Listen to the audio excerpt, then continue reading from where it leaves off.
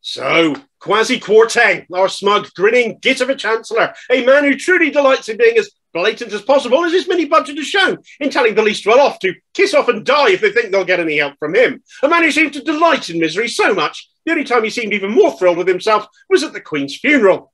Yes, last week's mini budget was proper Tory bastard stuff, wasn't it? But it was so mind bendingly awful, so blatant in its give to the rich, fuck the working class poor attitude. Even backbench Tories are wailing about it, particularly those in the red wall who know they're disproportionately least well voters will be disgusted by this. Kwarteng has announced the biggest round of tax cuts since 1972. The consequences of that are worth doing a video on, incidentally. But setting that aside for now, the claim he's going to help everyone?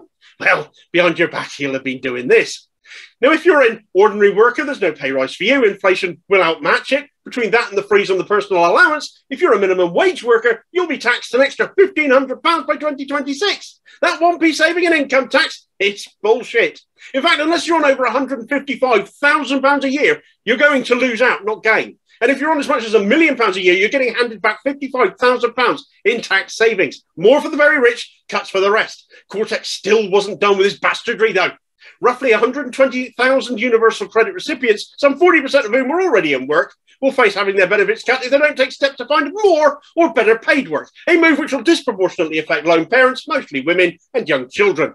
Whilst he does that, of course, though, he's also lifted the banker's bonus cap so that their extremely high incomes climb even higher. That apparently doesn't stoke inflation, but asking for a wage increase so you have enough to live on does, because apparently telling these people 40 years of trickle down economics just results in poor Kwarteng pulling this face. They know it doesn't work for country or economy. They can't not know. It's literally the equivalent of taking a tenner, posting it through the letterbox of the most affluent house in town, and assuming it'll find its way back into your pocket again.